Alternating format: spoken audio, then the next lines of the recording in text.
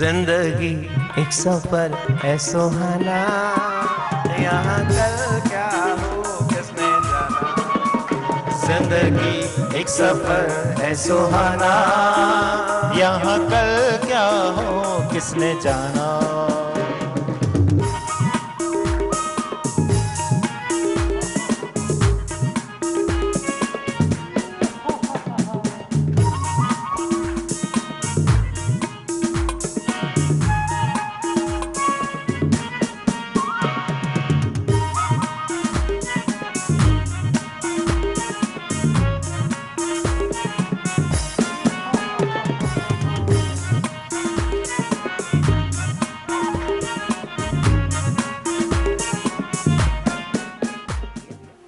एक बार एक व्यक्ति था, उसने नई नई दुकान खोली, अगरबत्तियों की। कौन सी खोली? अगरबत्तियों की। नई नई दुकान खोली तो उसने ऊपर एक बोर्ड लगाया, बहुत बड़ा। अब हर दुकान के बाद लगा ही होता है बोर्ड तो कुछ ना कुछ उसका। तो उसने लगाया कि हमारे यहाँ, जो लिखा था उसको ध्यान सुनना। हमारे यहाँ सुगंधित अगरबत्तियाँ मिलती हैं। हमारे यहाँ सुगंधित अगरबत्तियाँ मिलती हैं। उसने ये बोर्ड लगाया। अब दुकान बहुत चलने लगी। बहुत चली दुकान, बहुत अच्छी चली। तो कहते कुछ समय के बाद उसका एक खास दोस्त आया। आके बैठे, चाय पानी पी। तो उसने पूछ लिया तूने बोर्ड पढ़ा? बोले हाँ हाँ कैसा लगा? अच्छा लिखा है ना तो उसने कहा, कुछ गड़बड़ लग रही है। अब राय ले रहा है ना, कैसा लगा? बोले, कुछ गड़बड़ लग रही है। बोले, क्या? बोले, तूने लिखा, हमारे यहाँ सुगंधित अगरबत्तियाँ मिलती हैं। अगरबत्तियाँ तो सारी सुगंधित ही होती हैं। तो तुमने ये पर्टिकुलर ये इस शब्द का प्रयोग क्यों किया कि सुगंधित अगरबत्तियाँ मिलती हैं? तो इसको हटाना चाहिए। मुझे लगता है पूरे विश्व में जहाँ भी अगरबत्ती मिलेगी, सुगंधित ही होगी। दुर्गंध से युक्त तो कोई नहीं मिलती है तो उसको भी लगा, बात तो ठीक कह रहा है। अब पहली राय नहीं फैक्ट डाल दिया बोले, ये बात तो बिल्कुल सही कह रहा है तो उसने क्या किया? पेंटर को बुलाया। ये वाला शब्द पेंट कर दे। कर दिया गया। अब क्या रह गया? बोलो, अब बचा क्या? हमारे यहाँ अगरबत्तियाँ मिलती हैं। अब सुगंधित वर्ड अब दुकान अच्छी चल रही थी तो थोड़ी देर बाद कोई एक नया दोस्त आया। अब उसको फिर करस बढ़ा था, पुलिस से पूछ लो बोले तो बता, ये तूने पढ़ा बार बोर्ड? बोले, पढ़ा मैंने, इस पर देख क्या लिखा है। अच्छा लिखा है ना मैंने? उसने पढ़ा, हमारे यहाँ अगरबत्तियाँ मिलती हैं। बोले, इसमें कुछ ठीक नहीं लग रहा। बोले, क्या? बोले, हमारे यहाँ लिखने की क्या ज़रूरत है? तुम्हारी दुकान है, दिख ही रहा है सबको। यही अगर, अगरबत्ती की दुकान तो यही मिलेगी ना तो ये हमारे यहाँ ठीक नहीं लग रहा। मुझे लगता है इसको हटा देना चाहिए। उसको भी लगा, बात तो ठीक है, हटा देना चाहिए। तो उसने फिर पेंटर को बुलाया, बोले, हमारे यहाँ काट दो। अब क्या बचा? अगरबत्तियाँ मिलती हैं। तो कुछ दिन फिर बीते, एक और दोस्त आया, उसने फिर पूछा, बड़ा तूने? बोले हाँ। कैसा लगा? बोले, थोड़ा ठीक नहीं लग रहा सेट नहीं क्या? अगरबत्तियाँ मिलती हैं, क्या मिलती हैं? अगरबत्तियाँ हैं, ठीक है, अगरबत्तियों से पता चल जाएगा कि यहाँ पर अगरबत्तियाँ हैं। ज़्यादा शब्दों की ज़रूरत नहीं है। बोले, बात तो ये भी ठीक कह रहा है। फिर बुलाया, मिलती हैं। काट दो। क्या बचा? सिर्फ़ अगरबत्तियाँ अगरबत्तियाँ। तो फिर एक ऐसा ही कोई यार दोस्त आ गया होगा, उससे पूछा, ये बोले क्या अगरबत्तियाँ? बोले, दुकान है, बोले, दुकान है तो दिख रही है ना। अकेले अगरबत्ती लिखने का क्या मतलब है? क्यों मूर्खता दिखा रहा है तू? उसको लगा हाँ इसने मूर्ख कहा और भी कहेंगे। इससे अच्छा कि मैं तो फिर बुलाया। अब क्या बचा? कुछ नहीं बचा। और धीरे धीरे उसकी दुकान चलनी बंद हो गई। धीरे धीरे काम धंधा बहुत डाउन हो गया, बहुत डाउन और बड़ा बेचैन, बोले, अब मैं क्या करूँ? ये तो बड़ी दिक्कत होगी, काम तो बहुत चलता था। तो बोले, फिर कई दिनों बाद उसका एक दोस्त आया, उसने पूछा, भैया, दुकान तो जैसे आया तो उसने कहा, एक बात बता। बोले, क्या? बोले, ये बाहर बोर्ड भी लगा रखा है और उस पर कुछ लिखा भी नहीं तूने। तू आसपास में देख रहा इतने दुकानदार सबने कुछ ना कुछ लिख रखा है। और तू कैसा मूर्ख है? दुकान खोल के बैठा है, बोर्ड भी लगा के बैठा और लिखता कुछ भी नहीं है। बोले, तभी तो तेरा काम कैसे चलेगा? लोगों को कैसे खबर लगेगी यहाँ पर कुछ है? तो उस पर लिखवा ना कुछ। बोले अच्छा तू बता तो राय दे, मैं क्या लिखाऊं? बोले, मुझे लगता है तो इस पे लिखवा। हमारे यहाँ सुगंधित अगरबत्तियाँ मिलती हैं। हमारे यहाँ सुगंधित अगरबत्तियाँ मिलती हैं। बोले, यार, यही तो लिखवाया था। पर लोगों की राय ने काम खराब कर दिया। उसने फिर लिखवाया। और फिर से दुकान चलने लगी। बात समझ रहे हो? बहुत ज़्यादा राय नहीं। आपकी क्लास टीचर है। देखो, हर टीचर को अपने बच्चे के साथ स्टूडेंट के साथ बहुत अटैचमेंट होती है इमोशनली भी होती है, और हर टीचर यही चाहता है कि स्टूडेंट तरक्की करे। स्कूल का हर व्यक्ति आपका एडमिनिस्ट्रेशन ब्लॉक से हो, आपके प्रिंसिपल हो, आपके वाइस प्रिंसिपल हो, आपके टीचर हो, वो हमेशा चाहेंगे कि आप तरक्की करें। माँ, बाप और गुरु ठीक है टीचर और गुरु में थोड़ा सा फ़र्क होता है लेकिन टीचर गुरु ही होता है ऐसा भी है। तो माँ बाप गुरु ये तीन ऐसे हैं आपकी ज़िंदगी के अंदर जो कभी आपका नुकसान नहीं चाहते जो कभी आपके लिए नेगेटिव नहीं सोचते अगर उनकी डांट के अंदर भी आपके लिए अच्छा ही छिपा होता है। हम्म, ये ध्यान रखना। अगर वो डांट भी रहे तो हमारे यहाँ कहते हैं कि गुरु कुमार शिष्य कुंभ है। जो गुरु है ना टीचर है हाँ, वो एक कुमार की तरह है। कुमार देखते हो जो मिट्टी के बर्तन बनाता है। देखते हो ना? बोले, गुरु कुमार शिष्य कुंभ है, गड़गड़ काड़े खोट। तो वो गुरु क्या करता है? तो वो खोट निकाल रहा है। जब कुमार को देखा कभी? कुमार को, आपने तो नहीं देखा होगा क्या? जो कुमार है, वो जो बर्तन बनाता है मिट्टी के तो उसका एक हाथ उसके अंदर होता है पात्र के। और बाहर से वो चोट भी करता है, उसको आकार देने के लिए। उसको थपथपाता भी है, उसको मरदा भी है, अंदर से सहारा भी दे रहा है। क्योंकि ज़्यादा चोट करेगा, अंदर सहारा नहीं होगा तो टूट जाएगा। अंदर सहारा भी दे रहा है और बाहर से चोट मार रहा है। पर ये चोट किस लिए मार रहा है? ताकि आपकी एक दी बेस्ट कॉन्फ़िगरेशन निकल कर आए। आपकी आकृति बड़ी सुंदर हो जाए। वो आपको सजाना चाहता है। वो आपको सुंदर बनाना चाहता है। इसलिए गुरु कुम्हार शिष्य कुंभ है। गड़गड़ काड़े खोट, अंदर हाथ सहारा दे और बाहर मारे चोट। इसलिए कभी कभी टीचर डांट भी दे। आजकल तो महाराज माहौल अजीब है। अब तो गवर्नमेंट भी रूल बना देती है कि बच्चों को कुछ नहीं कहना। और इसलिए नहीं कोई देख पा रहा है कि नुकसान क्या हो रहा है। नहीं कोई देख पा रहा है नुकसान क्या हो रहा है।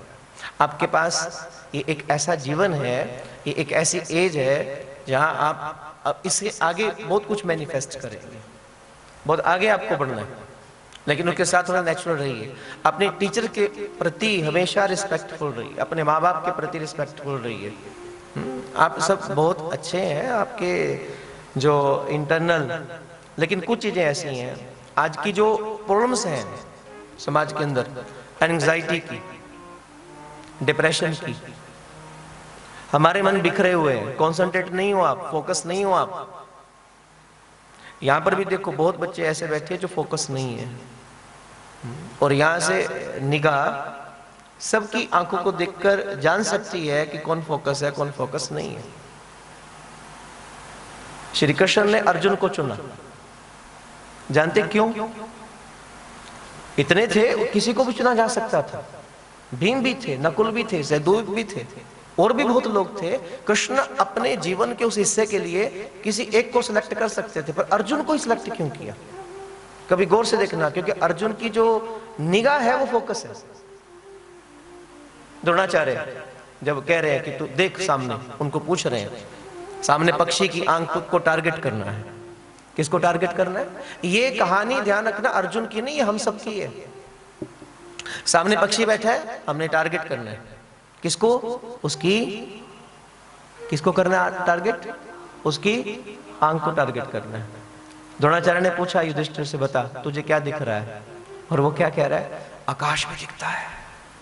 पेड़ पौधे भी दिख रहे हैं। उनमें बैठा पक्षी भी दिख रहा है। गुरु ने कहा, नहीं, तू इधर आ जा।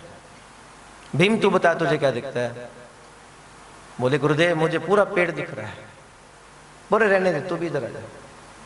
नकुल, सहदेव, तू बता, तुझे क्या दिखाई दे रहा है? और उन्होंने कहा कि, गुरुदेव, मुझे वो पक्षी दिख रहा है। उसका शरीर दिख रहा है, उसके पर दिख रहे हैं। रहने दे, तू भी इधर आ जा। अर्जुन से पूछा, तुझे क्या दिखाई दे रहा है? केवल आँख। केवल? तुम सिलेक्ट क्योंकि तुम्हारी फोकसिंग अपने टारगेट पर है, कहीं और ध्यान ही नहीं है। हम्म। इसलिए कृष्ण ने अर्जुन को चुना, क्योंकि मुझे महाभारत के लिए इस जीवन के संग्राम के लिए किसी ऐसे व्यक्तित्व की आवश्यकता है जो अपने टारगेट पर फोकस हो जाए, जिसका ध्यान कहीं और ना जाए। आप विचार करो, इस वक्त आपकी एज में आपकी एजुकेशन सबसे ज़्यादा टारगेट है। आप सबके सामने अपना एक गोल होना चाहिए। कितने बच्चों को पूछो, शायद कईयों को पता ही नहीं होगा अभी तक एम क्या है ज़िंदगी का। आपने क्या, सोचा भी नहीं होगा क्या करना है। मोस्टली आप किस क्लास के बैठे हो? प्लस टू वाले कौन है? प्लस टू वाले हैं क्या? Plus two? हाथ खड़े करना प्लस टू वाले। प्लस टू वाले, ओके। आप जो सबसे पहले जिसने हाथ उठाया, आप प्लस टू किसमें कर रहे हो? किसमें कर रहे हो? नॉन मेडिकल में कर रहे हो, ओके। पीसीएम फिजिक्स केमिस्ट्री और मैथ्स और इसके बाद क्या करोगे? आईआईटी करोगे। फिर उसके बाद क्या बनना चाहते हो? ठीक है। एक पीछे जिन्होंने हाथ उठाया था। एक मिनट थोड़ा माइक भी दे दो। वो पीछे से आवाज़ तो वैसे नहीं आएगी। भाग के एक्टिव होके। तारुष आप अच्छा ठीक है। आप चले जाओ। पीछे चलो पीछे हैं। हाथ खड़े कर लो जरा प्लस टू वाले। बिना झिझक बोलो।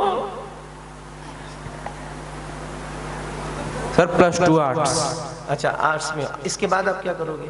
सर आईटीआई आईटीआई करोगे। किस किस फ़ील्ड में करोगे? इलेक्ट्रीशियन इलेक्ट्रिशियन के अंदर। उसके बाद क्या करना चाहते हो? सर इलेक्ट्रीशियन का कोई कोर्स कोई कोर्स उसमें क्या आप क्या सोच रहे हो? ज़िंदगी किस तौर लेकर जाओगे? टारगेट मेन टारगेट क्या है?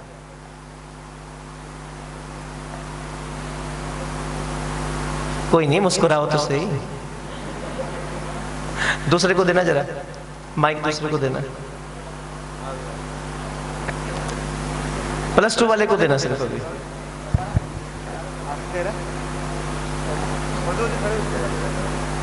अरे, बिना झिझक बोलो।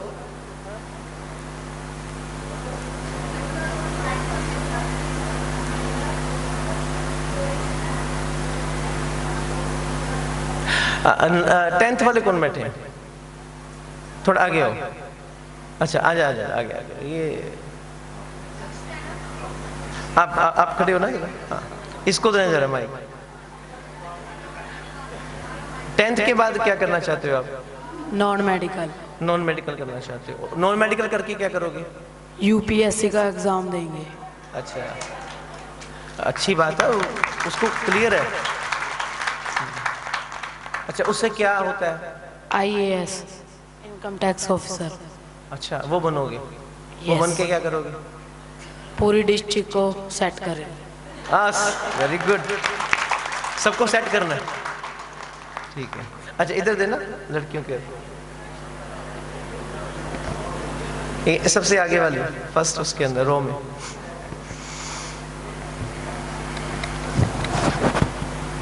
अब टेंथ में हो अभी? इसके बाद क्या करोगे? मेडिकल मेडिकल करोगे। उसके बाद? उसके बाद नीट का एग्ज़ाम क्लियर करना है देन कॉलेज में एडमिशन लेकर captain doctor army very good एक आपके पीछे भी कोई था उसको भी देना जरा।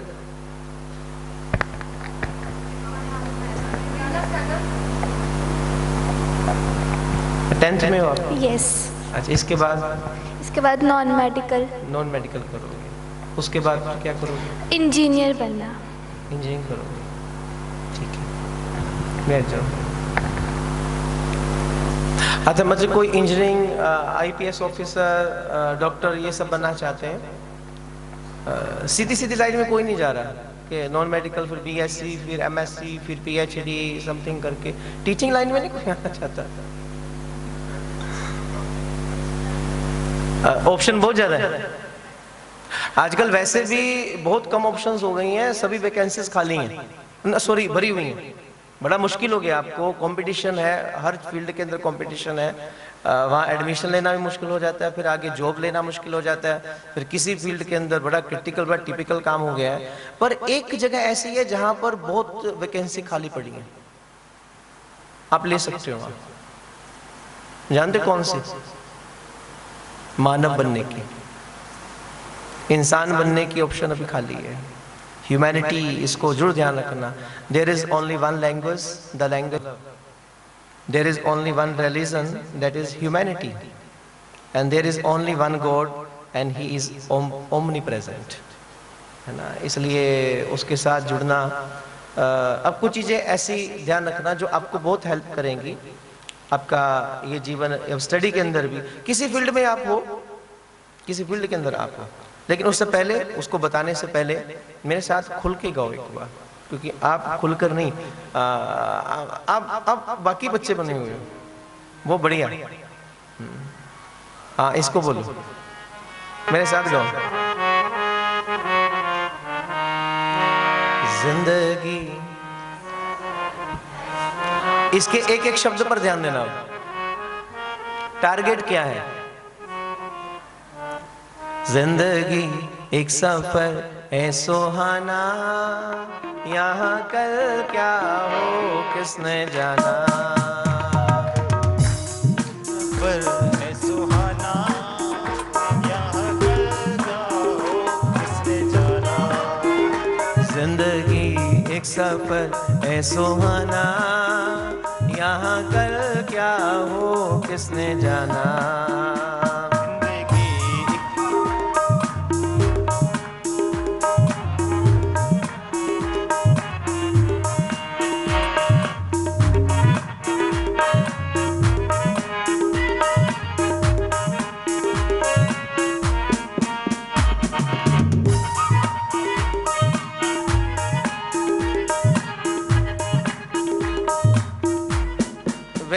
बात बताऊँ, मुझे लग रहा है जो टीचर्स हैं वो स्टूडेंट हैं और जो स्टूडेंट वो टीचर लग रहे हैं। उल्टा लग रहा है। टीचर थोड़े से वो होते हैं, है ना? जो टीचर है। लेकिन यहाँ टीचर खिले हुए हैं। और एक वो पर्सनैलिटी हमारा जब से मैं आया तब से देख, ऐसे बैठे हुए एक चीज़ ध्यान रखना हमेशा। जब भी बैठो अपने स्पाइन को सीधा रखो, बिल्कुल, हमेशा। आदत डाल लो। उतनी ज़्यादा एक्टिवनेस आपके अंदर आएगी। उतनी ज़्यादा। ये आदत डालो, कुर्सी पर बैठे हो, कहीं पर बैठे हो, कोशिश करो कि आप सीधे बैठो। मैक्सिमम आपका पोस्चर जो सीधा हो। एक तो उससे बहुत तरह की दिक्कत आपको बिल्कुल कभी नहीं आएँगी। और दूसरा, आपकी एनर्जी हमेशा एक्टिवेट रहेगी। आप बहुत एक्टिवेट रहेंगे। आपका ब्रेन बहुत ज़्यादा एक्टिव रहेगा एनर्जेटिक रहेगा। जो आपके लिए बहुत ज़्यादा हेल्पफुल है इसलिए इसको करो। अब थोड़ा मेरे साथ गाओ। ज़िंदगी एक सफ़र है सुहाना यहाँ कल क्या हो किसने जाना? ज़िंदगी एक सफ़र है सुहाना यहाँ कल क्या हो किसने जाना? हम कॉलेजेस में भी जाते हैं ना यूनिवर्सिटी में कहीं पर भी। तो बच्चे सबसे ज़्यादा इन्वॉल्व होते हैं। मुझे अभी भी आपसे सेटिस्फेक्शन नहीं है। कम से कम आ, कोई Punjabi pop music चलाऊं?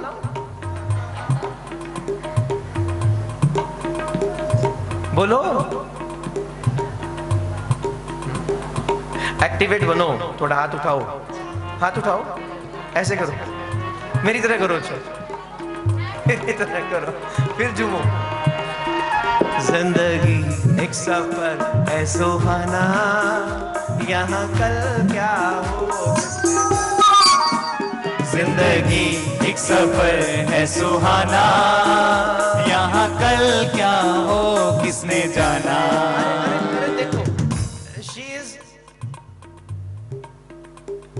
Only sweet sixteen और ताली बजाओ जो सोलह साल का। Body age is 76 body age is 76 पर पाँच साल हो गए। सोलह साल के रह गए। और आप? मुझे लगता है आपकी बॉडी एज पचास साल से प्लस है। ज़िंदगी, सोच लो। ज़िंदगी एक सफ़र है, सुहाना। यहाँ कल ज़िंदगी एक सफ़र है सुहाना। यहाँ कल क्या हो किसने जाना?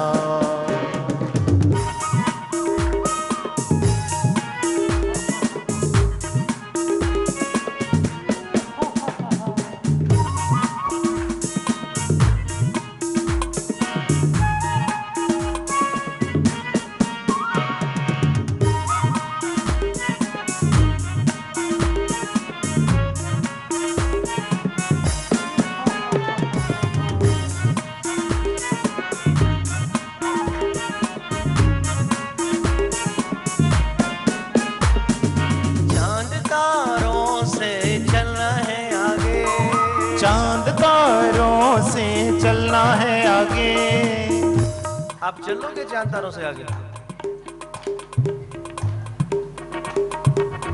लग तो नहीं रहा।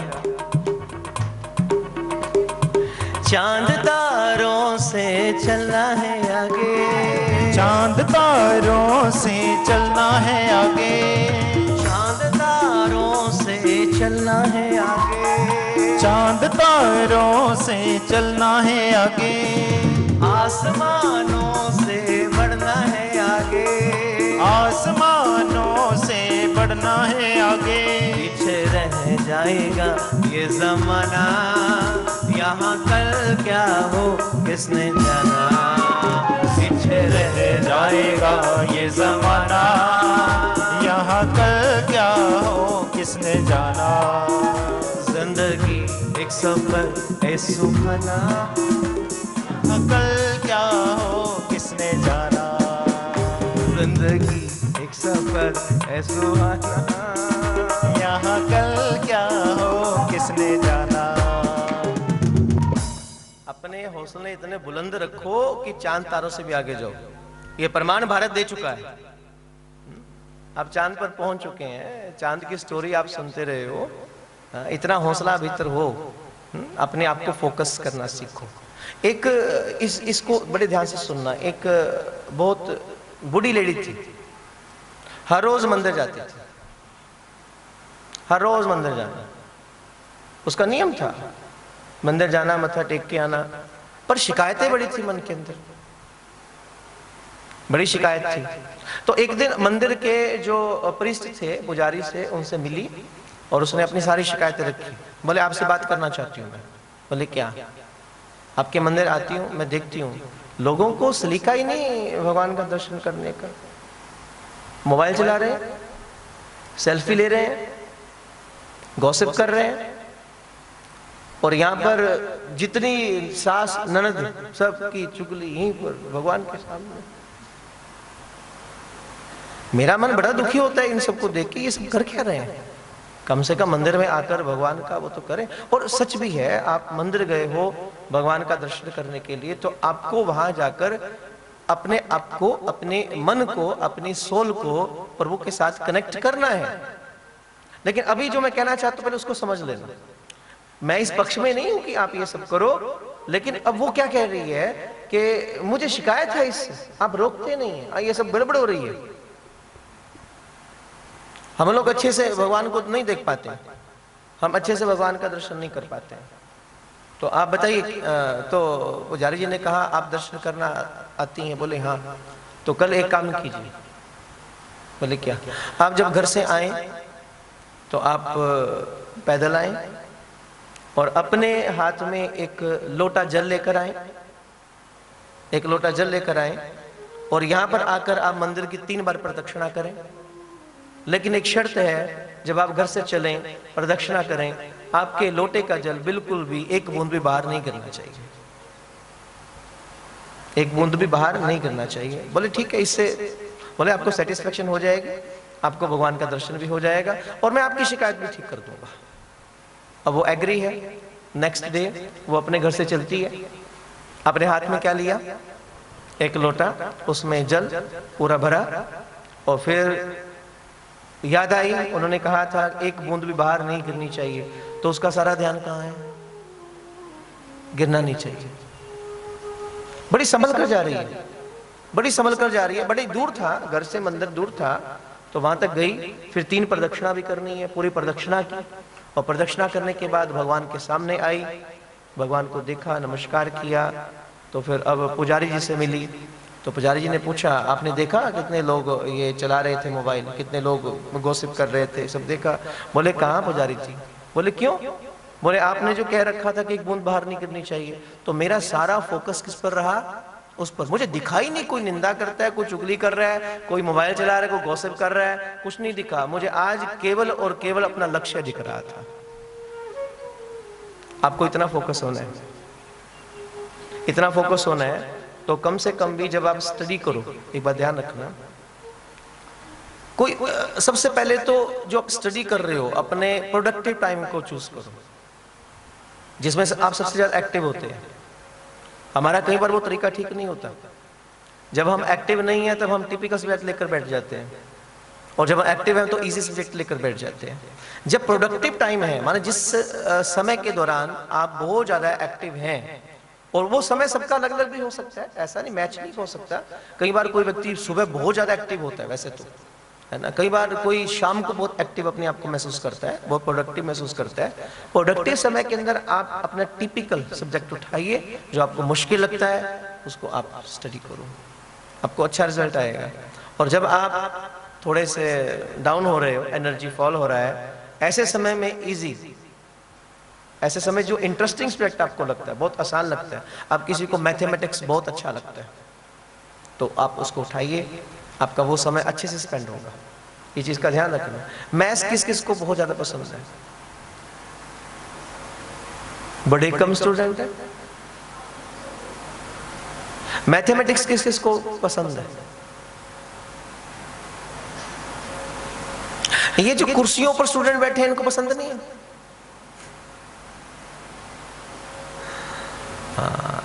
देखो mathematics is the foundation of every science ये फाउंडेशन है और भगवान भी बहुत बड़ा मैथमेटिशियन है, जिसने सारा संसार मैथमेटिक्स के मुताबिक बनाया है। इसलिए उसको जब भी करो, आप फोकस होके करो। पर कुछ चीज़ें जो आपके लिए बहुत ज़रूरी हैं, हमारी हर फ़ील्ड में, चाहे हम भक्ति के पथ पर हैं, चाहे हम सामाजिक पथ पर हैं, आप स्कूल में हो, कहीं पर भी हो, लेकिन इस चीज़ को ज़रूर करना जो मैं आपको बताने जा रहा हूँ। जो मेडिटेशन का प्रोसेस है, आपके बहुत काम में आएगा। करोगे कि नहीं? हाथ खड़े करना जो करेंगे। बिल्कुल इजी दे रहा हूँ, बिल्कुल इजी इजीएस्ट ज़बरदस्ती मत हाथ खड़े करवाओ, कोई चक्कर नहीं। आप मत बोलो कि आप खड़े करो। क्योंकि जो खड़े करेंगे इट मीन वो करेंगे भी। है ना? जो नहीं करेंगे, कोई चक्कर नहीं है, एक दिन तो आएँगे उस लाइन पे। आज नहीं तो कल, आना तो पड़ेगा, ये निश्चित है, पक्का है ये तो। श्योर है। कई बातें हमें समझाने से समझ नहीं आती, वक्त बहुत को समझा देता है। वक्त बहुत चीज़ों को समझा देता है, इसलिए उसको बड़े ध्यान से सुनो। आपने केवल क्या करना है? केवल और केवल अपनी नॉर्मल श्वास पर ब्रीथ पर सजग होना है, बस इतना करना है। आपको ज़्यादा कोई प्रोसेस नहीं बता रहा, जबकि मेडिटेशन में एक से एक अद्भुत ऐसे प्रोसेस हैं जो आपके माइंड को फोकस करते हैं।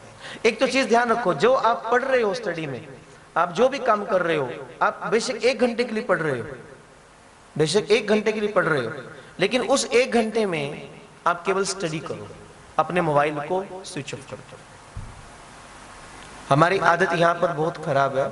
हम मोबाइल साथ में रखते हैं। यहाँ तक कि कई काम हम मोबाइल पर करते हैं, लेकिन उसमें क्या कर रहे हैं? हम अपना सब्जेक्ट भी खोल लिया, फिर थोड़े टाइम बाद रील देख ली। फिर वो भी, फिर कैटरीना कैफ भी बीच में आ जाती है कहीं कहीं थोड़ा थोड़ा तो उसको भी देखना पड़ता है। है ना? अब मम्मी तो समझते स्टडी कर रहे हैं। अब क्या पता उसके पीछे। ठीक है आप लेकिन वो आपको आपके माइंड को डाइवर्ट कर रहा है। आपको नहीं समझ आ रही है वो आपको कंप्लीटली डाइवर्ट कर रहा है। आपकी फोकसिंग को खत्म कर रहा है। और जब तक आप अपने उस पर फोकस नहीं होते हैं कॉन्सेंट्रेट नहीं होते तब तक आपके सामने रिज़ल्ट अच्छा नहीं आएगा। कई बार ऐसा होता है लोग बहुत पढ़ते हैं बच्चे बहुत पढ़ते हैं रिज़ल्ट अच्छा नहीं आ रहा। कारण क्या है? हमारा पहले चेक करो आप पढ़ कैसे रहे हो? वहाँ पर भी गड़बड़ है। वहाँ भी गड़बड़ है। इसलिए कुछ छोटी छोटी चीज़ें याद रखो, क्योंकि ज़्यादा आपको मैं नहीं बता रहा हूँ, पर छोटी छोटी चीज़ें हैं। एक तो आप जब भी स्टडी कर रहे हो तो कोशिश करो अपनी क्रिएटिविटी करने की। आजकल हम सारे ही गूगल के साथ कनेक्ट हैं। थोड़ी सी चीज़ होती है, हम अपना क्रिएट कुछ भी नहीं करते हैं। हम सीधा गूगल बाबा जी को दर्शन करते हैं, उसको नमस्कार करते हैं, उसको बोलते हैं, बाबा जी बताओ क्या है? वो बाबा जी सारा खोल देते हैं। इसलिए आज हर व्यक्ति डॉक्टर बन गया। आज हर व्यक्ति इंजीनियर है। कोई भी चीज़ होती है, हम सीधा उस पर चेक करते हैं। और little knowledge is a dangerous thing नीम हकीम खतरा है जान बड़ा खतरा है महाराज। आपकी क्रिएटिविटी खत्म हो रही है। आप जानते ही नहीं हो कि आपके अंदर भगवान ने, मैंने शुरू में यही से बात शुरू की थी कि हर बीज की पॉसिबिलिटी होती है, बहुत विराट बनने की। पर बीज अपने अंदर नहीं देख सकता कि मैं क्या हो सकता हूँ। पर हम सबको इतनी क्षमताएँ भगवान ने दी है कि हम इतनी क्रिएटिव है अंदर से। इतने क्रिएटिव है और कितने क्रिएटिव हो जितनी आपको बाहर पावर दिख रही है। ये ध्यान रखना, अभी ये स्पिरिचुअल बात कर रहा हूँ मैं। जितनी बाहर आपको पावर्स दिख रही हैं, उससे अधिक पावर आपके अंदर है। फ़र्क इतना आप जगा पाते हो कि नहीं जगा पाते हो? अपनी शक्ति को जागृत कर पाते हो कि आप नहीं कर पाते हो? ये आप पर डिपेंड करता है। जबकि उस पावर ने तो सब में पावर भर के भेजी हुई है। सब में कुछ खास है। सब में आप जितने बैठे हो ना, ये बात तो आप समझ लो, आप सब में कुछ दी बेस्ट है। कोई पढ़ने में हो सकता है बहुत अच्छा हो, लेकिन और फ़ील्ड में नहीं। कोई कोई हो सकता है पढ़ने में इतना अच्छा ना हो, लेकिन वो व्यक्ति स्पोर्ट में बहुत अच्छा हो। किसी और चीज़ में बहुत क्रिएटिव हो। तो आपको अपनी क्वालिटी एजुकेशन का ये भी मतलब होता है कि एजुकेशन आपके अंदर छिपी हुई पॉसिबिलिटी को आपको दिखाती है। कि ये क्षमता आपके अंदर है, आप ये कर सकते हैं। चाँद तारों से चलना है आगे, ये क्या है? आपकी क्षमता है। आप कर सकते हो। इतनी पावर है, भगवान ने आप में देखकर भेजी है, आप जो चाहें आप कर सकते हैं। अपनी पॉसिबिलिटी को अगर नहीं देख पा रहे हो इट मीन्स आप अपनी एजुकेशन को समझ ही नहीं पा रहे नहीं समझ पा रहे उस उस दर्पण को देखो कि आप आप किस लिए आए?